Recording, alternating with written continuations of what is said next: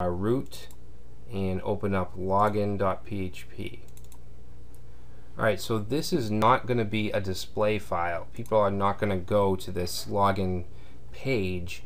Uh, basically, it's just going to handle our login. We're going to um, send our form to it, and then it will validate against the database through the user class, and then redirect us. Alright, so um, first thing we need to include our initializer. Uh, we want to say PHP include.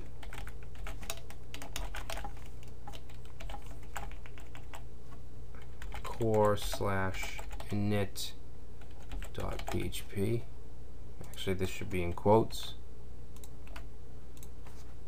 Alright and then the next thing I want to do is I want to check to see if that do login um, submit button was clicked. So we want to say if is set post do login. Okay so basically we're saying if someone clicked the do, the submit button uh, if they didn't okay so if someone just navigates to login.php without without um, actually submitting the login form then we want to just redirect them. We don't want them to be able to land on that page. So it's going to redirect to the home page. Alright so if it's clicked what do we need to do? We need to first get the um, username and password. So we'll just say get vars and username is going to be equal to post okay post username. Alright and then password is going to be equal to MD5 okay this is very important because remember we stored our passwords in the database encrypted with MD5 so if we don't do this here then it's going to match the non-encrypted password against the the encrypted password so you want to make sure that you have this here Okay, that's going to be password. Alright, now we need to create a new user object. Okay, so user equals new user. And then we'll say, guys, Whoop, alright, sorry so about that. What we do now is we have okay, and then we're going to say if user login okay and we're going to pass in into the login function we're going to pass in username and password okay so if we do log in then what do we want to do we want to redirect okay we'll redirect to index.php and we will set a message we'll say you have been logged in and the message type is going to be success. Remember, this redirect function we actually created in the system helper. Okay, so that's right here. Alright, so, and then we're going to say else. Okay because if the login does fail then we are we're still going to redirect. Um, except we're going to change the message. We'll say that login is not valid and we're going to set set the type to error alright so that's basically it that should do our login for us so let's go ahead and go, let's reload, and let's just put anything in. Uh, undefined method user log. Oh, we didn't even create the. sorry about that. We didn't create the the class method login. Uh, so let's go to the user class and go down all the way, or wherever you want to go. And I'm gonna paste in some code here. Okay, so this is going to be the login method.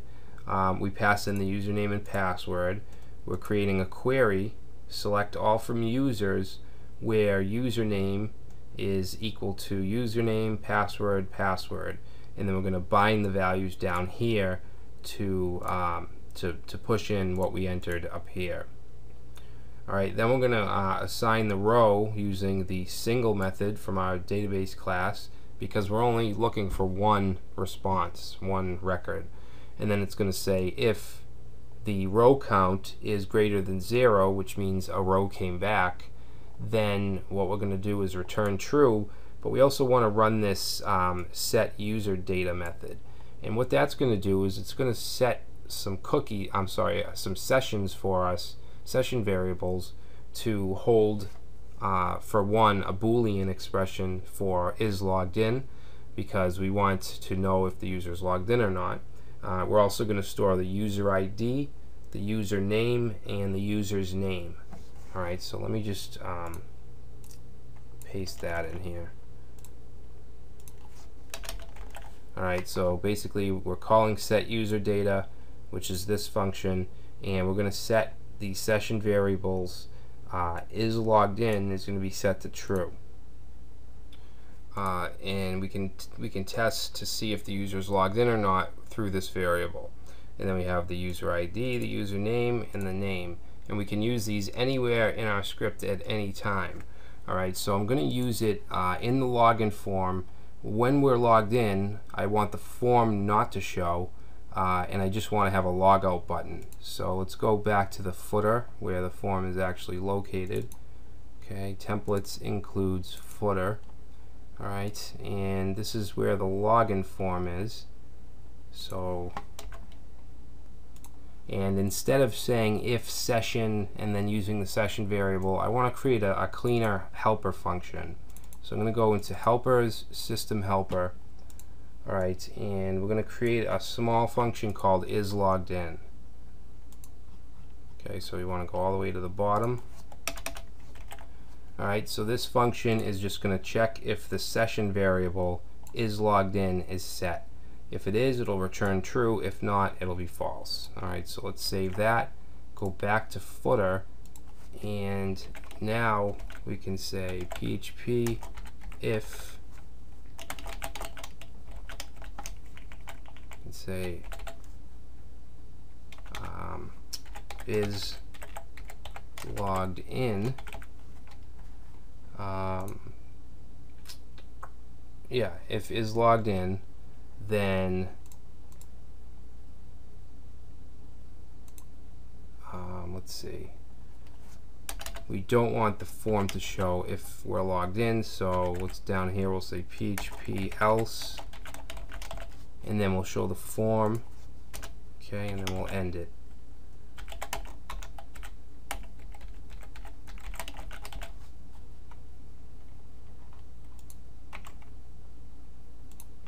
Alright and then if we are logged in um, basically I just want uh, a log I want a form but I just want the logout button. So let me paste this in. Alright so it's a div we have a div uh, with the class of user data and we're just going to say welcome and then the user's name uh, so this get user function uh, we're going to define in our in our system helper as well so let's go back to system helper and then under the is logged in function we want to paste this in. okay so it's just going to basically create a user array and basically just get the session variables and store them in the user array variable.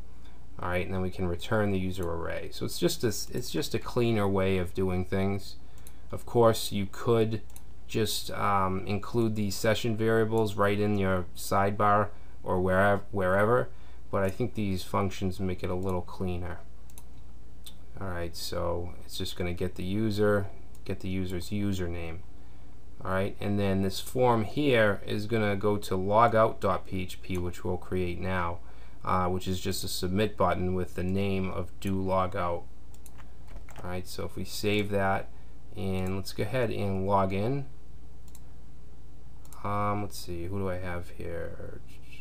Let's see, uh, Brad T.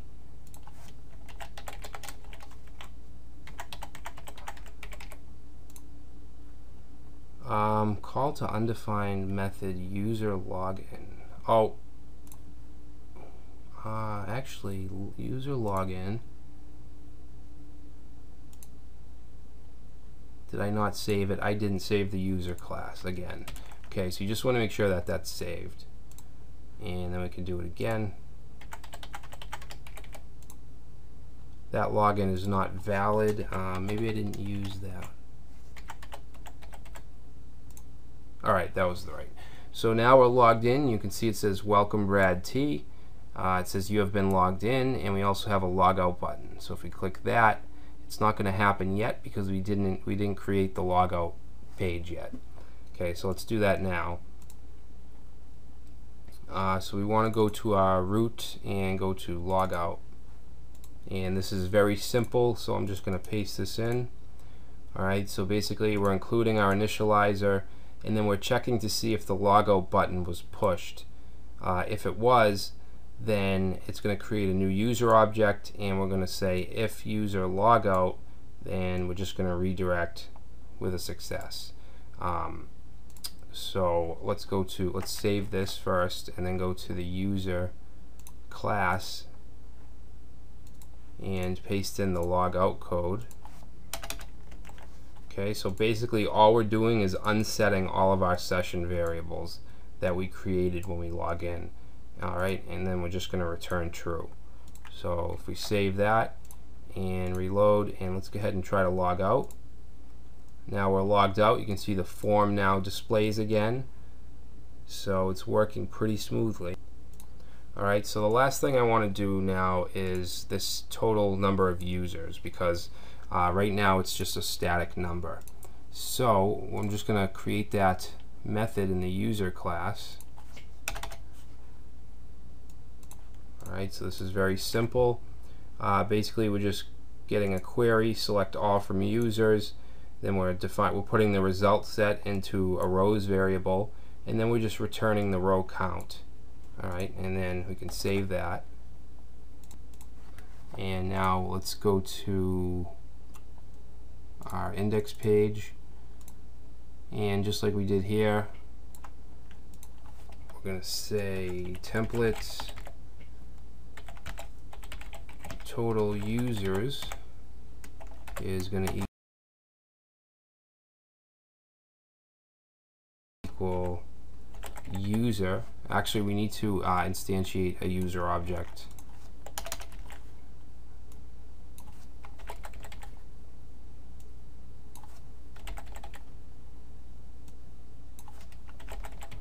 right and let's see template total users is equal to user get what did we call it? Um let's see where is a user get total users. Alright so let's see back to the in index. And this is going to be get total users. Okay, so now we should be able to use this total users variable inside of our template. So let's save this and open up the front page template. Alright, and let's see, we need to look for total users. Alright, so we want to replace this 52 with PHP echo uh, total users. Okay, now that should make that dynamic. So let's save that, reload, and you, now you can see we have four total users. All right, so we are definitely getting there. Basically, the two things we have left, the two major things, are to create a topic. All right, we want to um, log in and create a topic, and also to reply to a topic all right and we we only want to be able to do those things if we're logged in. All right so we'll do that next.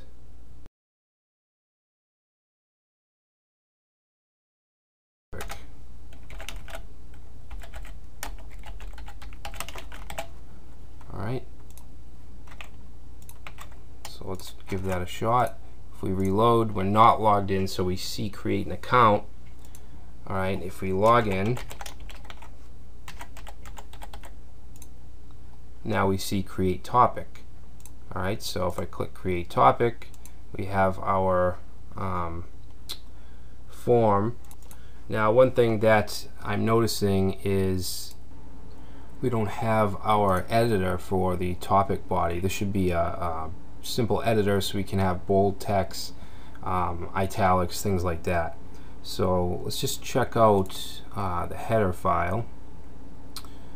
And it looks like the, the JavaScript is being included in the footer. Um, and actually our CK editor um, JavaScript file isn't even included. So what I'm going to do is, is take this JavaScript out and I'm going to put this in the header instead of the footer. Okay, so I'm going to cut that out. I'll get rid of these comments.